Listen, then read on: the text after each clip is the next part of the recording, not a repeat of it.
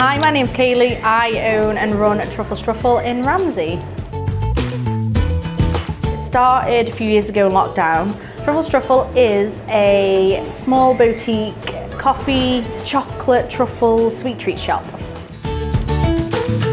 For me, Ramsey has a few unique little shops. It's always got people coming to Ramsey. Um, and Douglas for me, it's just not an option. I just prefer smaller, more community. I would say I like Pure Inspiration. They do lots of homeware, knick-knacky bits that you put for your home, all sorts. They do quite a few nice homeware bits.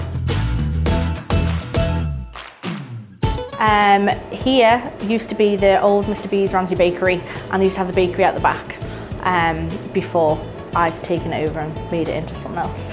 Historic, yeah. For me, it would have to be the lolly waffle with Nutella and strawberries on it. I am on social media. I'm on Facebook and Instagram. I'm in Ramsey, the top of the street next to Top and Toe. So yes, I'm pretty, pretty out there. You can find me in lots of places.